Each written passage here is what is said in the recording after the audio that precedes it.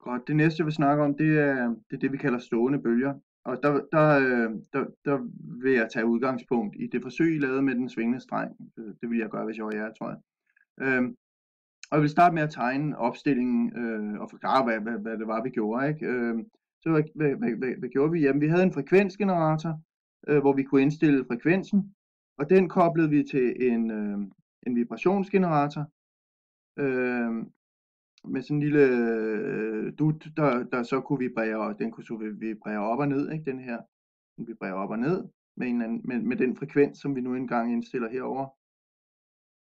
Og så, øh, så binder vi en snor til, og den snor, den, øh, den, den sætter vi, øh, der, der binder vi et lodde til, og, og laver et eller andet, øh, der er en trisse her, ikke? så vi laver sådan en ophæng, og så, og så, øhm, så der var kanten af bordet. Noget i den stil her. Ikke?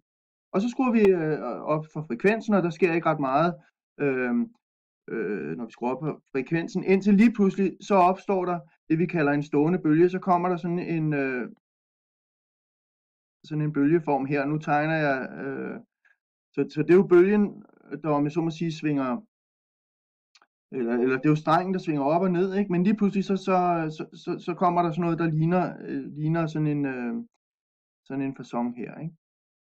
Øhm, og det er det, vi kalder øh, grundsvingningen, eller, øh, eller man kalder det også for første partialtone, som man kalder grundsvingning, eller grund, grundtone, ikke? men altså grundsvingning.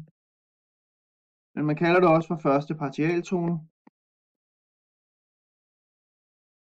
I skal jo ikke skrive det her, I skal bare sige det. Så det tager jo længere tid for mig. Ikke? Øh, partial, øh, øh, første partialsvingning. Og den, øh, og, og, og, og den ser jo sådan her ud. Ikke? Øhm, og det sker måske ved, ved, ved grundtonefrekvensen, vi kan kalde det F1 eller sådan noget.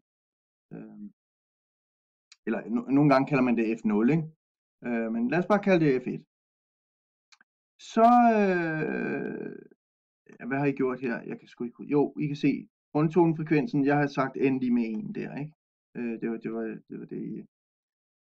Okay, så skruer jeg så højere op. Så skruer vi så højere op for, øh, for hvad hedder det, øh, for frekvensen. Og så dør denne her svingning ud.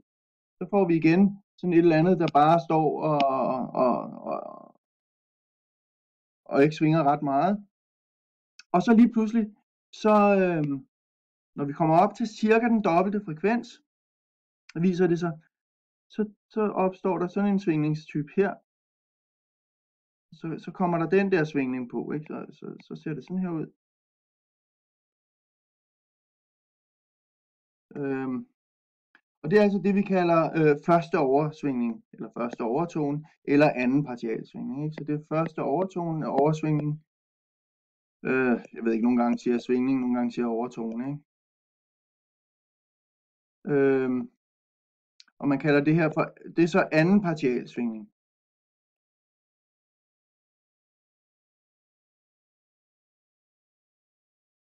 Og hvornår sker det? Ja, det sker, når frekvensen, det er cirka den dobbelte. Det var det, vi så. Det er cirka den dobbelte frekvens. Altså, teoretisk set, så er den præcis den dobbelte, ikke?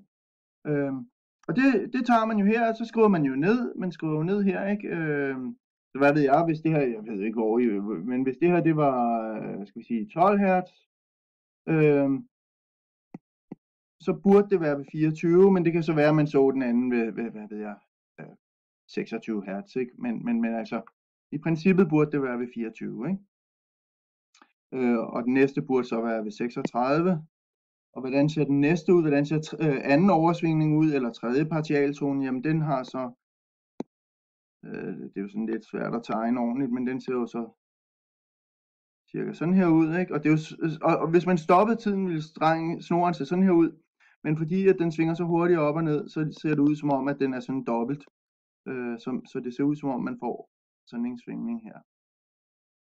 Øh, så det er anden oversvingning. Tredje partialtone, ikke? Og F3, og det er så lige med 3 gange frekvensen. Og jeg kan lige tegne den sidste. Den kan jeg tegne herude. Øh, det er så øh, tredje oversvingning.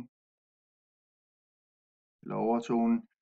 Øh, det her var tredje partialtone. Så det er lidt irriterende, at de der to, øh, at der er den der forskel på, når man siger oversvingninger, så er det et nummer mindre end partialsvingning. Men, øh, ja. Og I behøver, I behøver ikke at, uh, I behøver ikke bruge begge ordene, I kan bare bruge det ene. Jeg er sådan set ligeglad med, hvad for en I bruger. Øh, her, der vil det være fjerde partialsvingning. Øh, og der vil 4, det vil, det vil ske ved cirka den fjerde, fire gange øh, grundtonefrekvensen. Øh, og hvordan ser den ud? Jamen, der vil være, den vil se sådan her ud.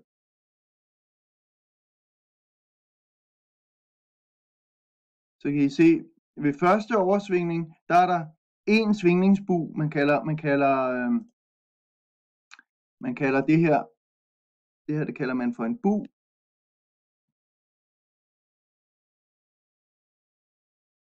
så der er en svingningsbu ved, ved, ved grundsvingningen i første partialtone. Jeg, jeg, jeg, jeg håber, jeg sagde det rigtigt.